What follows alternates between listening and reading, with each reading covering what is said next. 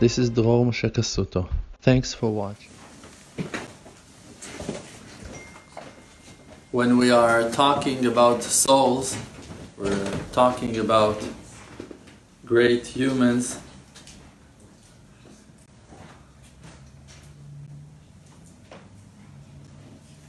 It's very important to remind ourselves of of that tree of life that we are part of. Being branches of this amazing tree of souls oak of life.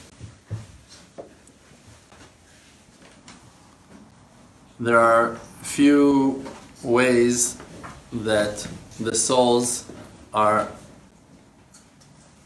passing from one generation to the next.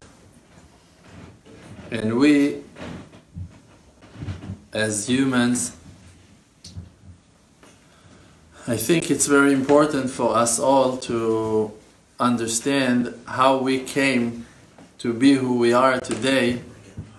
It can be very helpful for us to understand some secrets and to know some more about the nature of our souls and where are we coming from and how.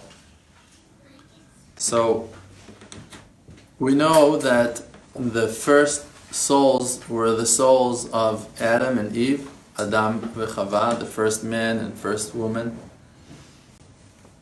Now, when we're mentioning them, we're talking about gigantic souls we're talking about something that is greater than the wide world. We're talking about something that you cannot understand its size, how wide and large and big and great they were.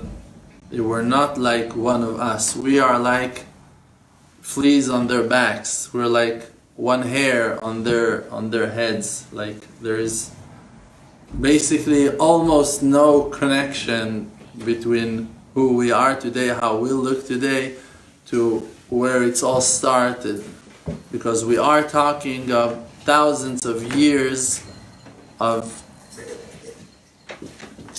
development or of changings of the main ocean of souls that is divided to rivers that are divided to more and more um, rivers and, and, and small streams of, of water, like a tree that has his trunk, and from it large branches are growing, so you can still see the connection, but after those branches are bringing more branches, and those ones are bringing more and more and more. Today after so many years, it's hard to find the connection from those fragile, thin branches about to fall that we are on that tree of life. But still, when those souls brought down to the world their children, so a very wide portion of their soul, of their spirit, passed to the next generation. Like the inner fibers, the inner power of that trunk that is growing into the next level of branches. And those are their children. That's the second generation. And then comes the third. Now, it's not only to remember the history who were our ancestors and from which family we came out to the world. It's to understand qualities of the Spirit. For an example,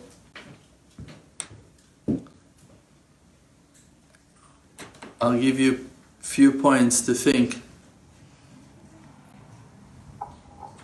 Details on that amazing couple, Moses and Tzipporah, his wife, for an example. Tzipporah, the wife of Moses, she was a convert. She joined Judaism, she joined the family of Israel, the holy nation of Israel, as the wife of Moses. But her journey to convert started even before that she knew Moses was alive. In the beginning, there was a woman named Batya. Batya, she was the daughter of Pharaoh. And Batya, she's been called Batya, the daughter of Hashem. Why? Because when the Bible is telling us that Batya went to the Nile and over there she saw Moses, she saw Moses in his, how you call that? Basket. basket in his basket floating on the Nile. So her intention was to go and to be purified and to convert to Judaism, to Israelism. She wanted to be part of Am Israel. That was her intention. She came to the water to wash herself from the foreign faith of the house of her father. She was the main first woman that converted except of Sarah. That Sarah, she was the first one with Abram, her husband, that both of them like changed, converted, went to somewhere new, somewhere else. Now, Batya Bat Paro, the daughter of Pharaoh, even though that she was the princess, and even though that she was raised in the palace over there in that royal kingship of Egypt, she realized that there is a huge mistake over there and she decided to uproot herself from her foreign roots, from her family, and to join that holy nation of Israel that she recognized in them holy sparks holiness and purity in their characters, in the way of their faith, in the way of their behavior. And she decided to join them, to become one of them. Now, when she took that decision, something great, spiritual, took place in the world. And the light of her conversion affected the wide world. And one of the first results were Tzipora, was Tzipora the wife of Moses, that she was the daughter of Jethro, Yitro, that he was one of the advisors of Pharaoh. Now, you're learning history. It's good. It's a good thing. You ate, you daven mincha, ma'ariv. Now you learn a little bit of history. It's good. When she decided Batya Bat Paro to convert, there was a huge noise in the world because the beautiful daughter of Pharaoh walked away from their faith, from their foreign faith, believing in their idols and all of those ways of, of that they were worshiping, and she walked away from all of that. And that decision made a huge noise in the world. Now, Jethro was always coming to Egypt with his family because every time there was an event in the palace or something, he would take his family, his children. He was working for Pharaoh, he was one of the advisors of Pharaoh, and he would come. And in one of the times, his daughter, that was still a very young girl, two years old or so, she saw the light of Batya Bat Paro. And when she saw the light of Batya Bat Paro, she fell in love with Batya Bat Paro's light. The illumination, the inspiration, the faith, the humility, the good midot of Batya Bat Paro went into the heart of Tzipora, the daughter of Jethro. And she decided to convert. Now that's an amazing thing that happened while she was there, still as a little girl, she saw Moses because Batya, she found Moses in the Nile, on the Nile, and she took him in, and she raised him as a prince of Egypt, and he was there, and Tzipporah saw him. And the Midrashim are telling us that Tzipporah she saw and she recognized and she knew Moses already from Egypt before that Moses ran to the desert and found himself over there with her family. Before that, she already knew him and she already fell in love with him as a little girl. And she knew in her heart that her destiny is about to change and that she is about to convert and that she is about to join the holy nation of Israel. Now think about that woman Tzipporah, that from a tiny age her heart is a flame of fire, pure soul that desires only good, that she has a fantastic role model in front of her eyes, Batya Bat Paro, and she wants to be like her and she wants to dedicate her life to the truth and to the faith and to purity and to holiness and to all good actions and deeds in the world and she wants to be only in that path of holiness and purity. And in a certain situation in her life, Moses is saving her life. And after a while, the Midrashim are saying that Moses found himself in the desert, ran away from Egypt after killing the Egyptian officer, and he found himself running to Hashem. And over there in the desert, he find, find himself lost, and Tzipporah saved his life. For 10 years, she was feeding him in prison. He was kept in prison in a pit in the middle of the desert by her father Jethro, that was scared that Moses will be find, found in his place. He was terrified from Pharaoh, so he threw him to the jail for 10 years, and Tzipporah was feeding Moses behind the back of her father, against the will of the community, against every kind of logic. She is running, swimming against the stream, saving the life of that holy person, Moses. And she loves him, and she cares about him. After 10 years, she went to her father and she told him, Do you remember that person that you threw to the prison and you forgot about him 10 years ago? He said, Yes. Is he still alive? She said, Yes. And not only that he's still alive, he's praying for you every day to his God in heaven. So she came for the side of Moses and saving the life of Moses and returning a favor. And she is all dedicated, pure soul, with pure love with a noble purpose in life to do the right thing. Now that amazing woman finds herself converting and getting married with Moses and then going out from the house of her family with Moses back to hell, back to Egypt, to go and to be the first enemy of Pharaoh and his, and his army, and to go and fight. And she's doing it, and taking her two babies with her, and the devil is attacking them when they're in a certain hotel on the way to Egypt in a place that they were resting and she is saving her husband and saving her children from a gigantic snake that is about to kill them that it's the devil itself it's the angel of death that came to try to take one of her children on that journey back to Egypt to save the Israeli nation something that she is not really supposed to do but all of her life is dedicated for that noble purpose, and that's what she's doing. Dedicating her life to that noble cause, to her man, the one that she loves, based on the faith that she believes in heaven, in the good, in Hashem, in the Creator, in the God of Abraham, of Isaac, of Jacob, and she's following the ancestors, the holy mothers, and she's going all the way.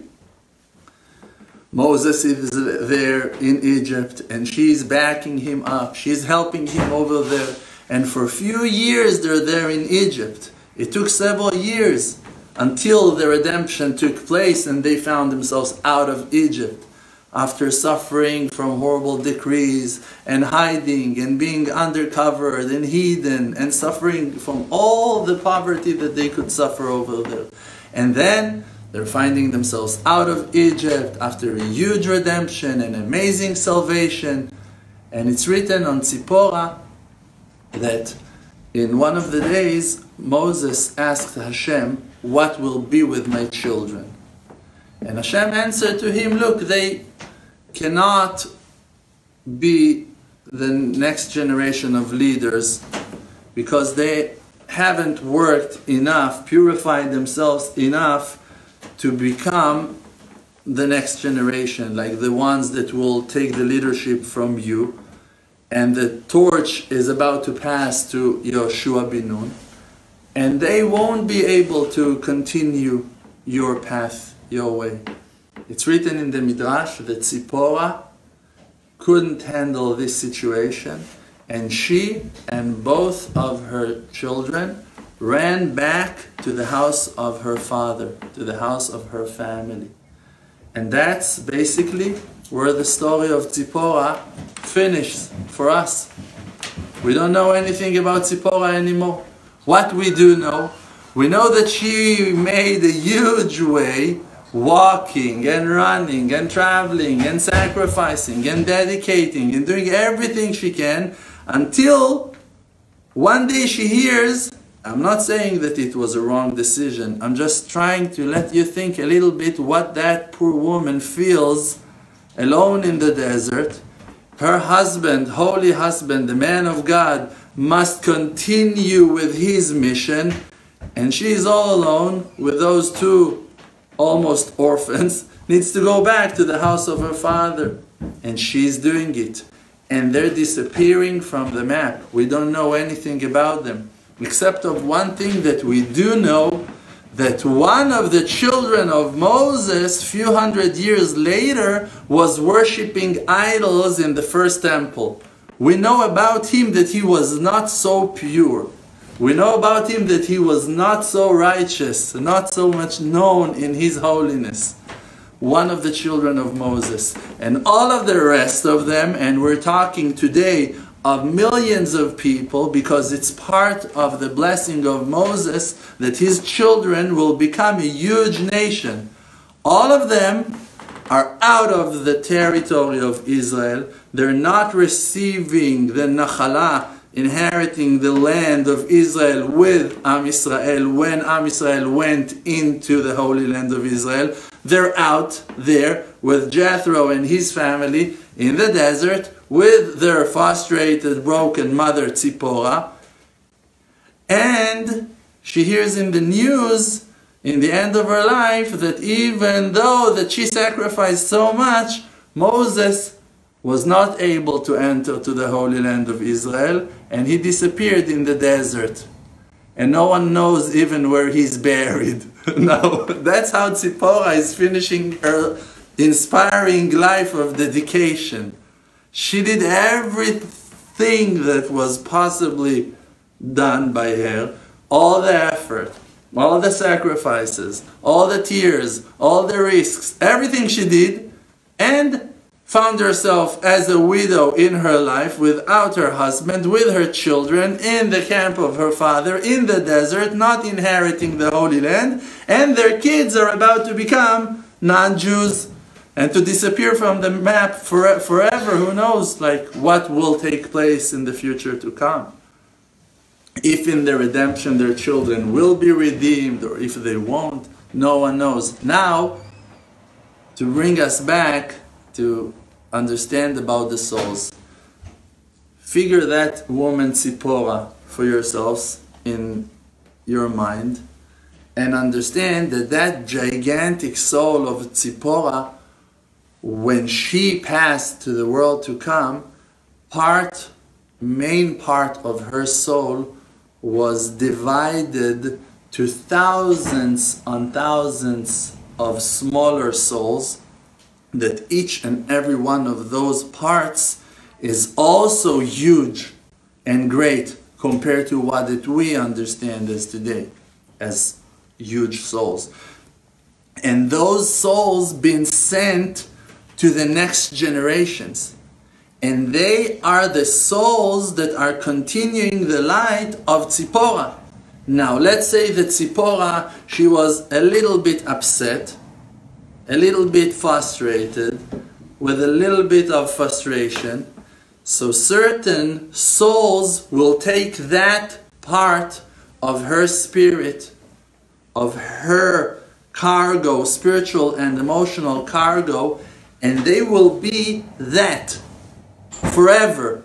Now, if she was in a certain moment biting her lip in anger and in frustration and doesn't know what to do with herself, so a certain part that with that quality, with that with that way of thinking, with that cargo of, of, of feelings, is about to be sent to different locations in the world as different women with different missions, with different goals and destinies in life, and they will all gonna bite their lip forever because that's who they are. Because they are 1% of that noble woman, Tzipora. And if she was also dedicated and loving and generous and kind, so you're gonna find those giants, giant women, godly women that gonna love forever and gonna dedicate forever and gonna sacrifice forever without even knowing who they are in the root of their soul.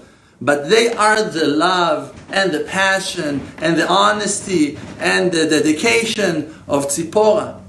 And one of them want to come into the world in Russia, and one in Switzerland, and one in Morocco, and one in Tibet, and one in Uzbekistan, and one in the Holy Land of Israel. And you won't know. And those gigantic souls that every one of them is only 1% of the complete soul of Tzipora, also gonna divided after 70 years or 80 years of lifetime to the next generation and going to become new 1,000 souls after 500 years, after 700 years. And today, we are that 1% out of 1% out of 1% out of 1% of those noble ancestors that brought us out to the world, down to earth. And we must understand how that process is taking place in our lives. Because instead of blaming ourselves and trying to analyze ourselves and to judge ourselves and criticize ourselves, we must focus on the reality of who we really are. Now, for an example, there was that righteous man, the Ramchal HaKadosh, Rabbi Moshe Chaim Luzzatto. It's written on him, on Rabbi Moshe Chaim Luzzatto, that a huge part of his soul came from the soul of Moses. That's why he was named Moshe, Rabbi Moshe. But also he was named Rabbi Moshe Chaim, Chaim, because a huge part of his soul came from Rabbi Chaim Vital, that was the main student of the Ari Kadosh. Now that person, Ramchal, Rabbi Moshe Chaim Luzzatto, is carrying inside of himself a huge portion from those gigantic souls of Moshe Rabbeinu and also Rabbi Chaim Vital. And he needs to deal with completing the mission of Moses in his lifetime, in the life of the Ramchal, of Rabbi Moshe Chaim Luzzatto, and completing that portion that he inherited from Rabbi Chaim Vital that lived five or seven hundred years before of him, or two, three hundred years before of him, to complete the mission that been treasured in him, in his name, in his destiny, in his generation. Without the memory of him being Rabbi Chaim Vital, without remembering that he contains 1% of the soul of Moses, or 20%, or half percent of the soul of Moses, he won't remember that. But when he will be honest to feel who he is and to understand the waves and the movements and the changes in his spirit when he talks, when he hears, when he listens, when he cares, when he sees, when he recognizes, when he forgets. When he will be aware to the qualities of his spirit, he will find the ability to complete the mission that he been sent to complete. by being truthful to who he is, loyal to his inner voices, aware to the sound of his soul, of his spirit, he will find the tools to accomplish the mission that been given to him by heaven. And you don't know who you are, but it doesn't mean that you are not as great as our ancestors. Because you are part of that tree of life. And the inner fibers, the spiritual fibers that are building you, that designed your character, are being pulled from thicker branches. That being pulled and came out to the world from thicker and thicker branches. And the beginning of those branches is in the holy trunk. Those are the souls of Adam and Eve. Those are the souls of our ancestors, of Abram and Sarah, and the rest, and the holy tribes. And part of the tribes are out of Israel, like we know. The ten tribes found themselves out of the kingship of Judah. And they're not included today in the Jewish nation, and they're out there, and they belong to different nations, hard to recognize. And the children of Moses, like we learned today, like we read in the Midrashim, they're not part of Am Israel. The majority of the children of Moses are not part of the nation of Israel, for sure not part of the Jewish nation as known today. They're out there. There are millions of people. And Moses is in heaven crying for his children when they're walking in the desert of Afghanistan and no one knows them and no one can recognize them. Who can? Those holy people in heaven, the Creator Himself that knows all the mysteries and all the things that have been forgotten, that He remembers and knows it all. And you yourself can be aware to who you are, and they themselves can recognize, can recognize the godliness and holiness that is treasured inside of them if they will listen to the inner voice of their souls. When they will be ready and prepared to become aware to their real identity, to their real character. Now the spirit of Mashiach, the spirit of the real Mashiach that will come, and will blow away all the sadness and all the depression and all the negativity from the world and will bring a new spirit of awakeness to the world and will cheer up people to come back in tshuva, to come back to the place that they've been took out from, to come back to their true selves. When He will come, He will refresh the memory of all those lost souls to recognize their godly roots, the roots of their spirits. And suddenly they're going to understand. They're going to recognize themselves. They're going to say, No, I know who I am. And they're going to join the nation of Israel, the real nation of Israel. They're going to join the rest of those holy souls that been trapped in the trap of the evil inclination and they will recognize their good qualities and their real honesty and their real holy foundation of their souls and they will become who they meant to be and they're going to receive from heaven the blessing and the gift to go and to build and to enjoy Beit HaMikdash and to serve the Creator with honesty. And we, and I'm talking about myself and friends of mine, as Jewish people, except of doing tshuva and be ashamed of who we are and the way that we behave, we have nothing else to do. Because we are those ones that are blocking the doors of tshuva from the wide world. We're not those ones that are opening the doors. We're not welcoming at all. We're not doing our job at all. We're not even close to do our job.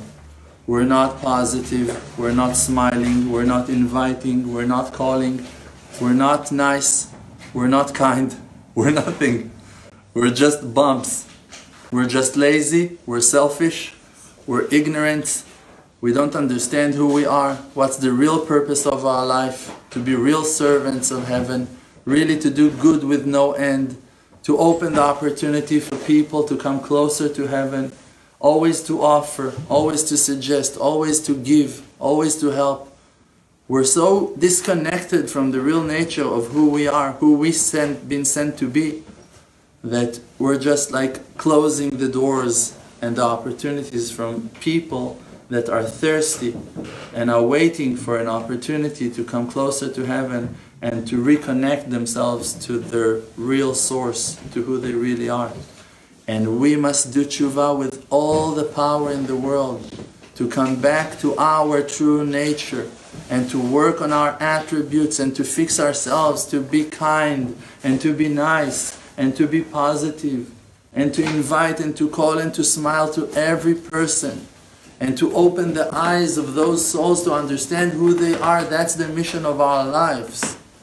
The mission of our life is not to take care of ourselves. The mission of our life is to see what we can do for others. How we can climb out of our inner prison, from our inner fears, and not to be so scared, and not to be so terrified, and not to be so worried all the time. And we must climb out of that filth of impurity, of being selfish, of being sad, of being upset all the time, of being angry and frustrated all the time. Forgetting that we are on a mission. I suggest to every person to take a certain time and to dedicate that time for an inner observation, to look deep into your true self. The way to do it is simple. You just need to find a quiet place and to listen to yourself with honesty. You just need to listen. You need to talk to yourself like you're talking to your best friend, to be open and revealed, sincere and honest with yourself. Ask yourself, what in the world am I doing here in this lifetime? How can I dedicate my life a little bit more to the real purpose of life? What else can I do really to illuminate the light of heaven, to shine the light of truth to the world? How can I assist? How can I help? How can I do more? More than I do.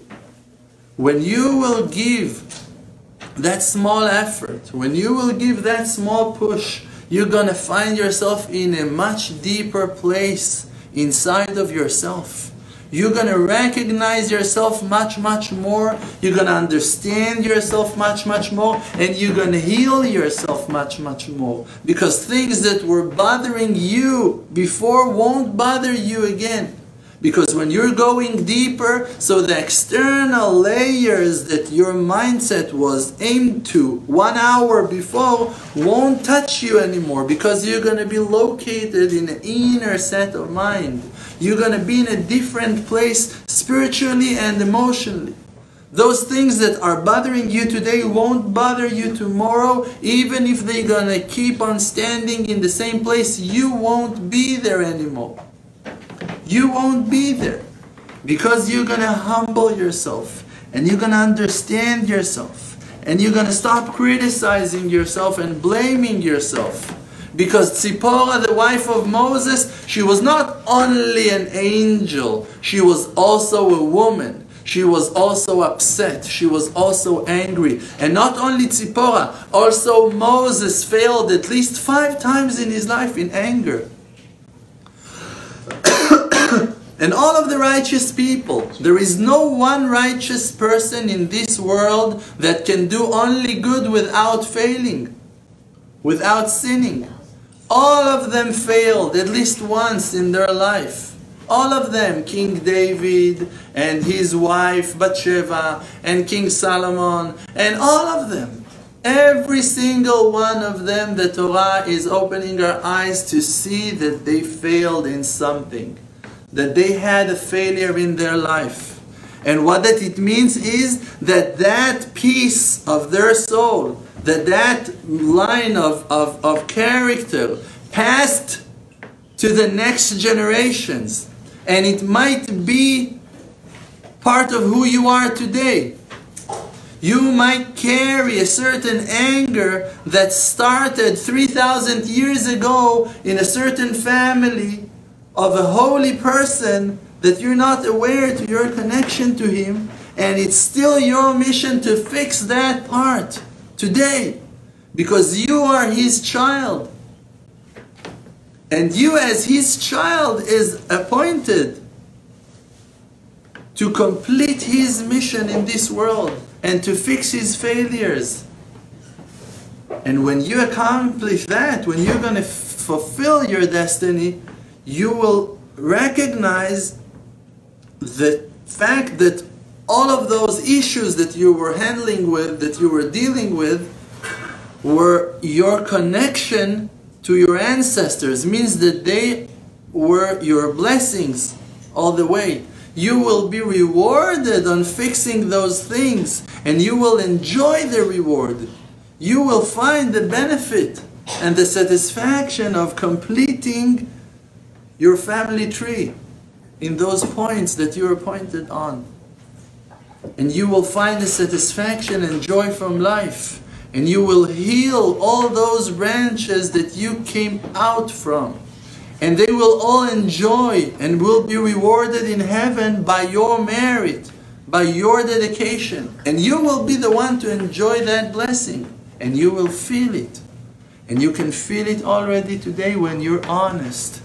You can feel an inner happiness when you are completing yourself, when you're finding things that you lost, when you come to deep understandings of things that were not solved for you until today. You're achieving finally a deep happiness, a feeling of completion is filling you from within. And this is the sign that you are walking in the right path, that you're achieving the goals that you've been sent to achieve that you find more and more answers to questions that you have, that you find salvations in your life, even in small things. When you see the individual supervision of the Creator on you in life, that's a clear message from heaven that the Creator tells you, I love you, I'm with you, I'm supporting you, I'm building you, I'm aiming you, I'm carving the way and the path for you. I'm supporting you and protecting you and helping you and assisting you. And every one of us can see those sparks in his lifetime. All of us, we can see those points of light. And we must follow those sparks and to continue straightening our path. And the way to do that is with honesty, is with real honesty to talk to yourself and to talk to the Creator like you talk to your best friend.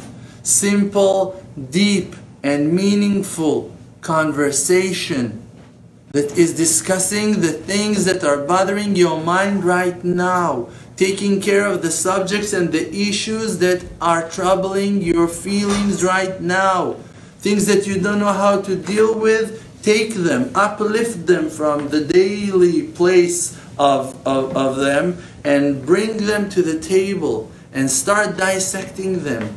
Start investigating your issues, your patterns. Start talking to Hashem. Start talking to yourself.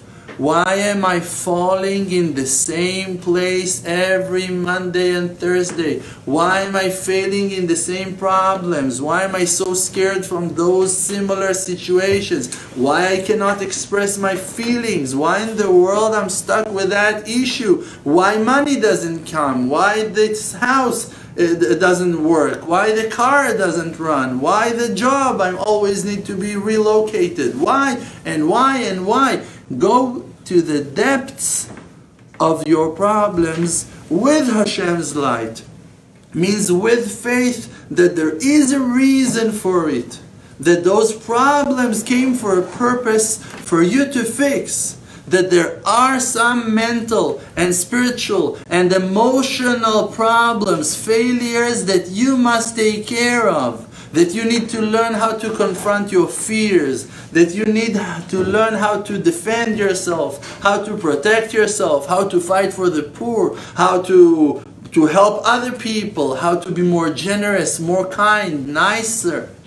Those are the missions of your life, and when you will deal with them, for an example, you find yourself in a problem that you're not happy to go to your work, to your job. You have issues over there with some employees, with some colleagues. Great. Go deeper Don't say, no, I must stop going to that job. No, I'm going to look for another job. Leave that flat layer of your life of excuses, of justifying yourself, of blaming others. Go deeper. Try to take this situation and ask yourself, why am I so bothered from that person why that boss is terrorizing me? Why am I so scared to say no when I don't want to? Why is it too hard for me to wake up? Why is it too hard for me to stand up for myself? Why am I not doing what I need to do? Okay, I'm scared. Okay, I'm afraid to be hurt. Okay, I'm terrified. Okay, I'm lost. Okay, I I don't know what. You'll find about yourself. Now deal with it. How you deal with it? You pray for it. You talk about it. You expose it to the light.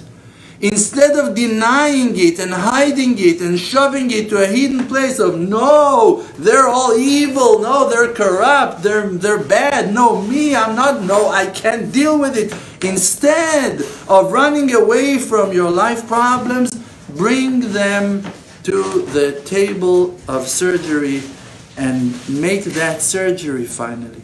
Heal yourself. Say to yourself, okay, that's my problem. I'm terrified from authority.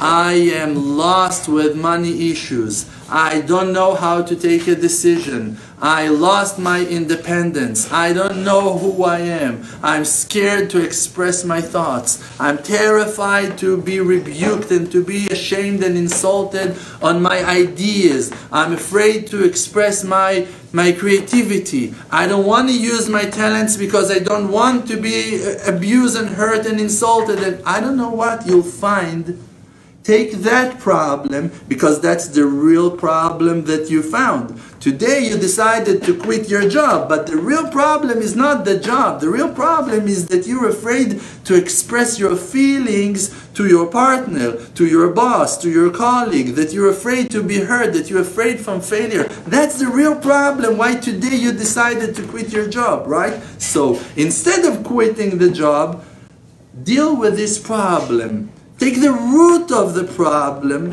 deal with the truth of your life issues, bringing up your problems, and now take care of it.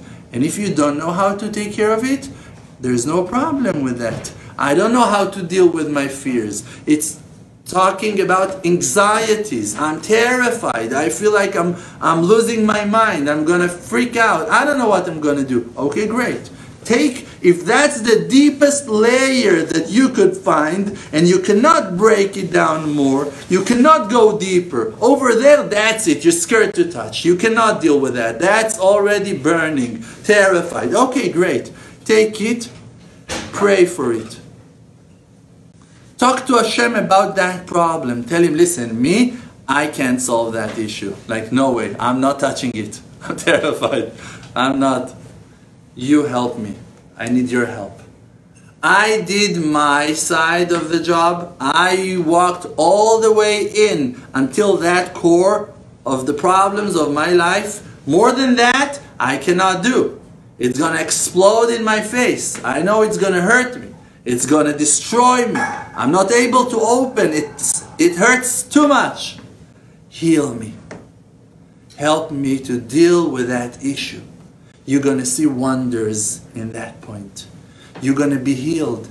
Your prayer will be answered 100%. Why? Because that was a prayer of truth.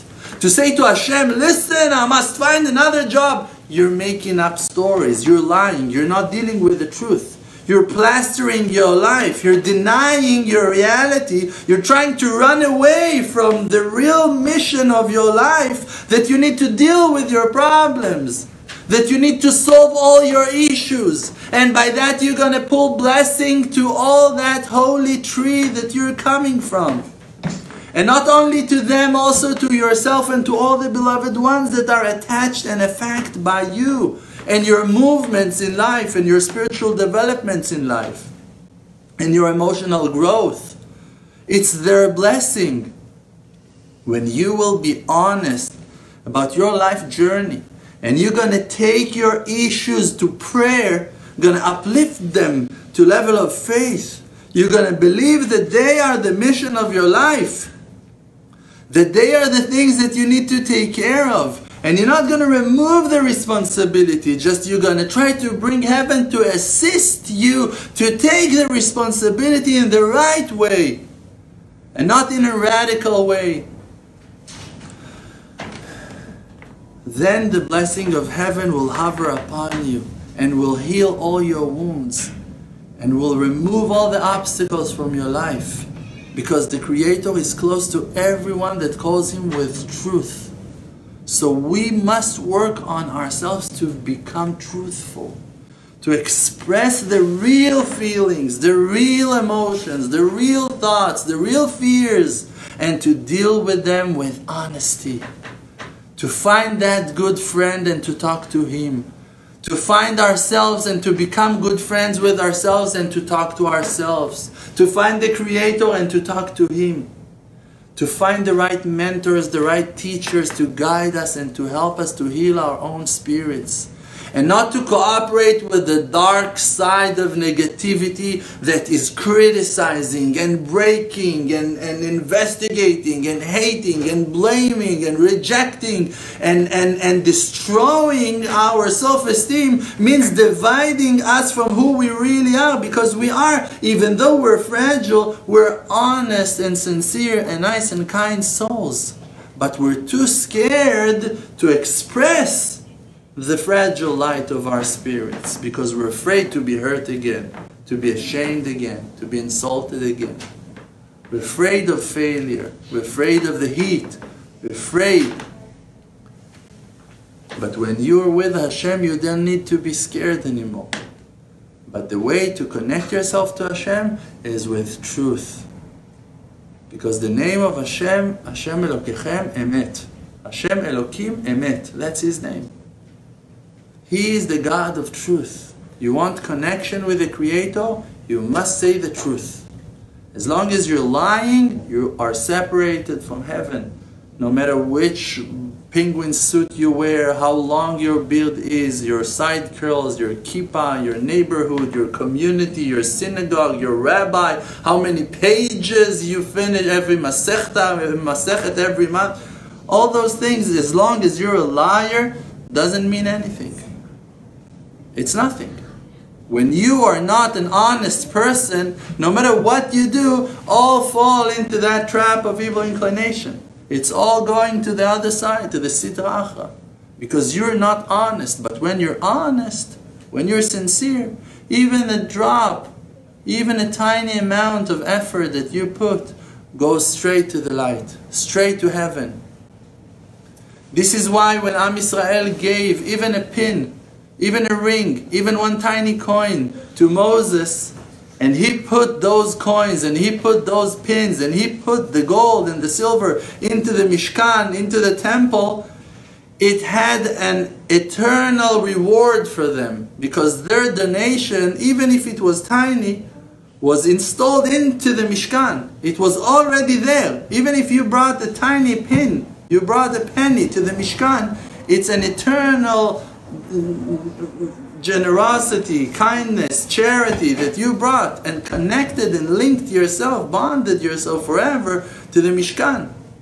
But if you were separated from Moses, the man of truth, and you decided to take all your money and to worship Hashem with it, but without Moses, it doesn't consider anything because you were separated from the real will of heaven that Moses will build the Mishkan. So even if you built a nicer Mishkan with much more gold, much more nice, beautiful, mm, shiny, I don't know what you put into it, it's all like you were worshipping idols all your life because it was not the real will of heaven. It was not the true thing to do. Because Moses was there and he was the one that was in charge on building the Mishkan. So you had to join him in his effort and not to do things on your own. So also today, we need to connect ourselves to the truth, to the real truth. And you can know the truth about yourself by checking yourself and being truthful. Check yourself Am I truthful while walking? Am I truthful now when I'm talking? Am I truthful? Am I say the, eh, do I really say the truth? Do I really do what I believe that I should do? Or that I'm lying, or that I'm hiding, or that I'm protecting myself, or maybe it's the truth now. No, I see that I need to protect myself right now. No problem. You don't need to go and kill yourself for no reason. But you need to connect yourself to the truth. And when you are connected to the truth, the truth is shining upon you and blessing you from within. Like I said, again, the mission is not over there in heaven. It's in the daily simple situations that we're dealing with. Over there, you should reveal the real lines of your character, the real foundation of your spirit, to show that you are really an honest soul, a gentle and kind and nice soul. Thank you very much. Hashem bless us all to find ourselves and not to be lost in the darkness of exile you might be from the soul of Tzipporah, you might be from the soul of Rabbi Akiva, Rabbi Shimon Bar Yochai, Rachel, the wife of Rabbi Akiva, Rachel Imen. You don't know who you are. You should find the inner lines of your character and to think to yourself, what does it symbolize? What is it reflecting? What does it mean? Who I really feel that I am? and what I'm, I, what what makes me feel connected? Those are your real connections. What did you feel? That's what Hashem is putting for you to feel. If you feel connected to some righteous man, you don't need to doubt that. If you feel, oh, Lubavitcher Rebbe, oh, Rabbi Nachman of Breslev, oh, the Baal Shem Tov, the Baba Sali, I don't know. If you feel connection, there's connection. That's your connection. You don't need to doubt it. Now you need to ask yourself if that connection is based on love, on appreciation, on good on, on good solid things or that that connection is based on fear. Oh i'm very connected to him because i'm terrified because i'm lost because i don't know what to do and he's the only one that is abusing me so i don't know like who else to turn to. So don't do that. Don't connect yourself to those ones that are forcing you for connection. Try to find a real inner and sincere connection to the truth from a source of inspiration of, of, of, of good, of kindness, of partnership. And may the Creator bless us all with complete happiness and that all of our prayers and dreams will come true with no time. Amen.